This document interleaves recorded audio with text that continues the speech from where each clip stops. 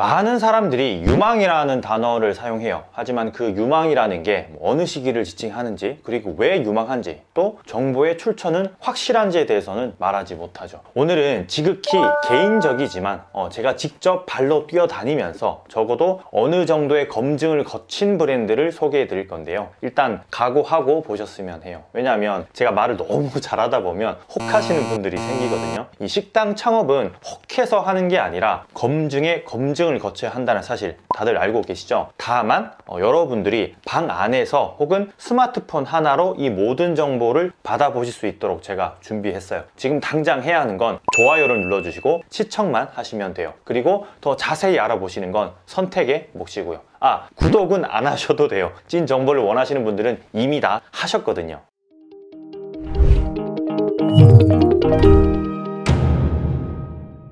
전국에 100개 이상, 200개 이상 오픈한 프랜차이즈는 유망이라는 단어를 쓰기에는 이미 타이밍을 놓친 브랜드일 수 있어요. 그래서 오늘은 최대 100개 이하의 가맹점 혹은 아예 가맹점이 없는 어, 적어도 이 콘텐츠를 만들기 시작한 시점에는 그러했던 브랜드를 소개할까 해요. 참고로 제가 직접 방문해서 기본 퀄리티를 다 체크했고 또 수소문을 통해서 알아본 사실들도 있어요. 세 브랜드 모두 각기 가진 특징이 아주 도드라지는 곳들이고요. 창업자 관점이 아니더라도 하더라도 손님의 입장으로 꼭 한 번씩 방문해 보시면 좋을 것 같아요. 직접 보고 듣고 이 맛 보는 건 차원이 다르니까요. 첫 번째 세간에 잘 알려지지 않은 유망 브랜드는 용 용 선생입니다. 강남은 프랜차이즈의 메카죠. 제가 이 브랜드를 알게 된 게 약간은 어이가 없는데 바로 권리금 때문에 알게 되었어요. 용용 선생은 이름에서도 알 수 있다시피 중화식 주점을 생각하시면 되는데 강남에 있는 매장은 직영점이 아니고 가맹점이에요. 재밌는 건 현재 용 공용 선생이 있는 이 자리의 권리금은 5억가량 미쳤죠 이 5억 권리금을 주고 들어가서 얼마를 팔아야 돈을 벌 수 있을까라는 생각이 먼저 드니까요 하지만 5억 권리금을 3천만 원으로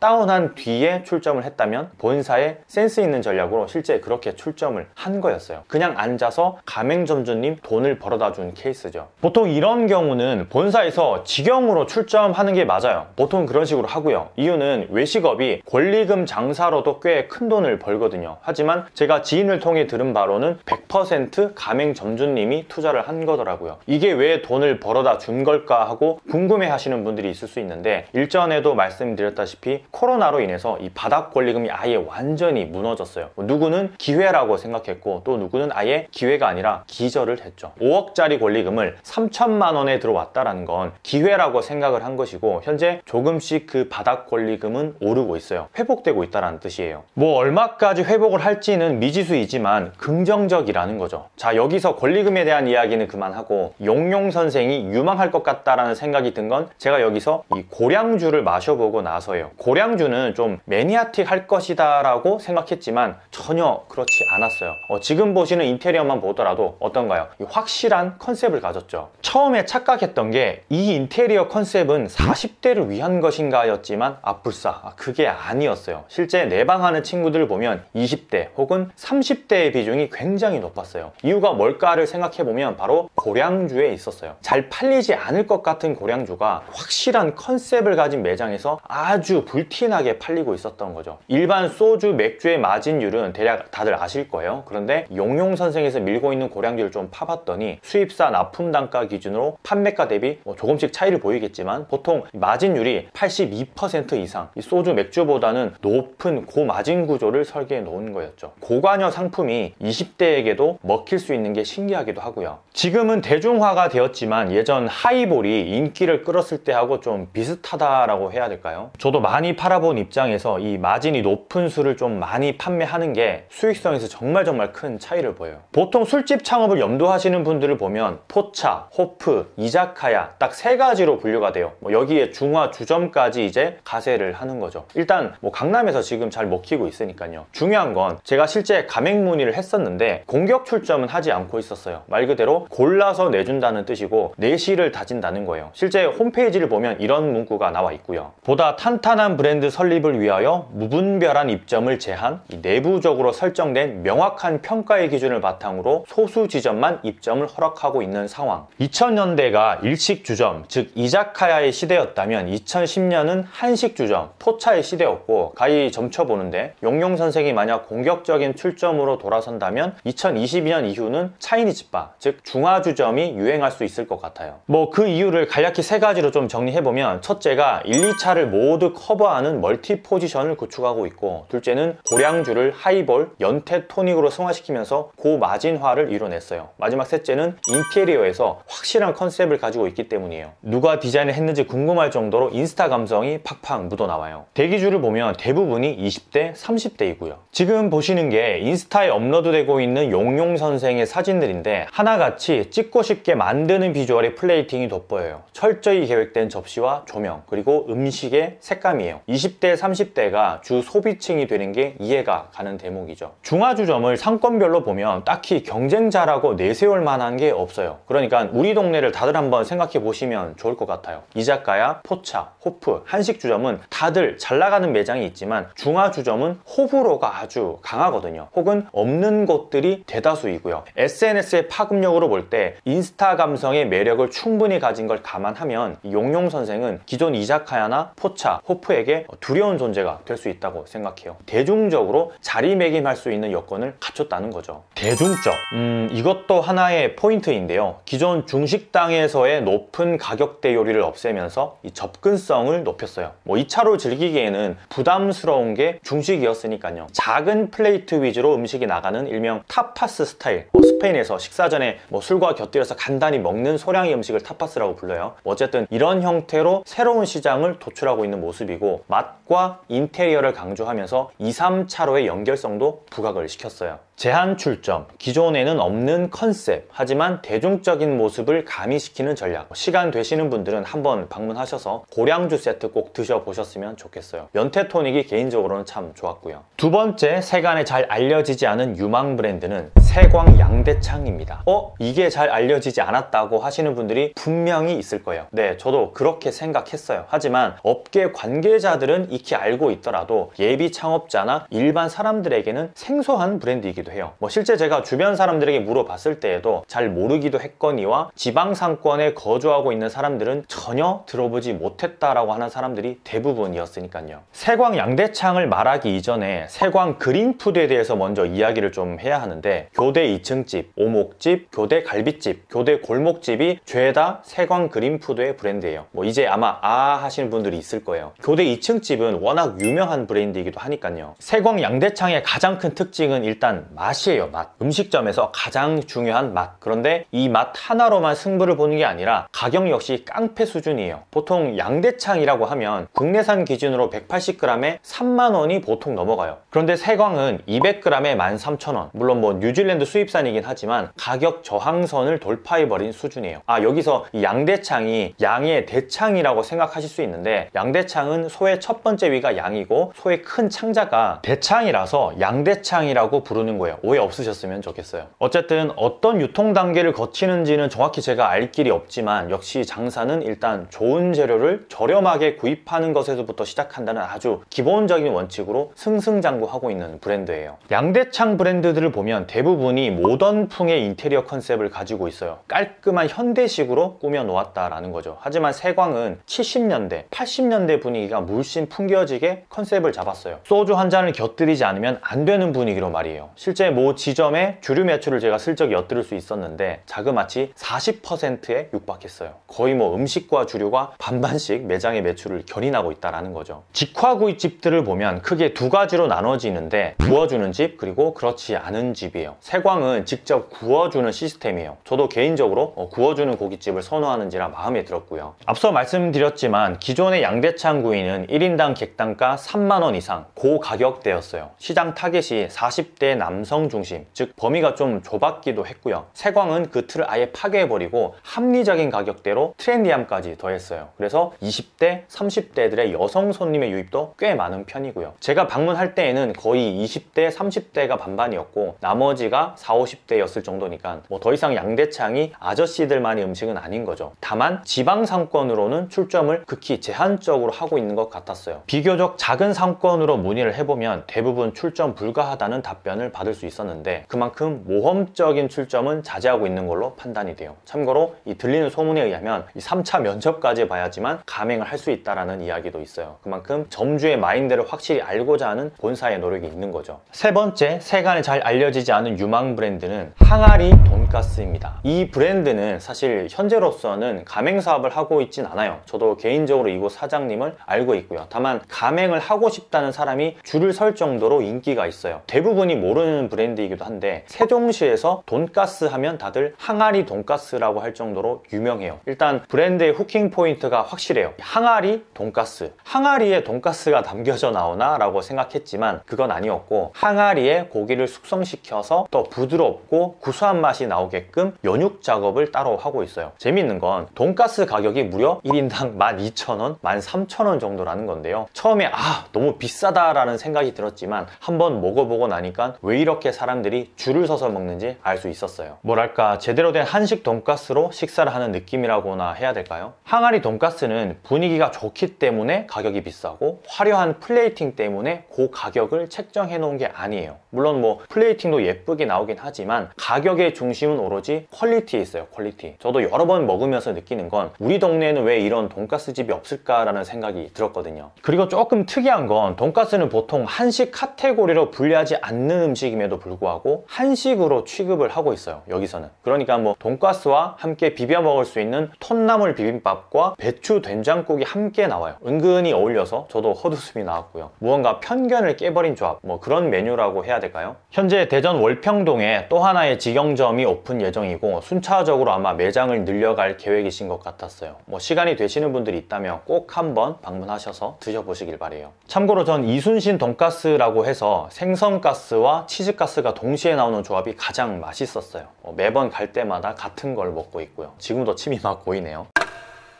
자 여러분 어떻게 보셨나요? 제가 장사 관련 콘텐츠를 만들다 보니까 많은 식당, 브랜드 그리고 음식이 아니라도 장사 관련 업종에 관심을 가지게 돼요. 뭐 직접 먹어보고 뭐 다녀보고 또 기회가 될 때에는 직원분, 점주님, 뭐 대표님들과 이야기를 나누면서 insight를 얻기도 하고요. 혹시라도 장사 관련 이야기를 들려주실 분들이 있다면 아래 메일로 보내주시고요. 다시 한번 말씀드리지만 이 브랜드 선택은 신중히 창업은 고심에 고심을 거쳐서 철저히 준비한 뒤에 해야 한다는 사실 꼭 잊지 마시길 바래요. 권프로였고요 오늘도 많이 파는 하루 되시길 바랍니다. 감사합니다. 많이 파세요.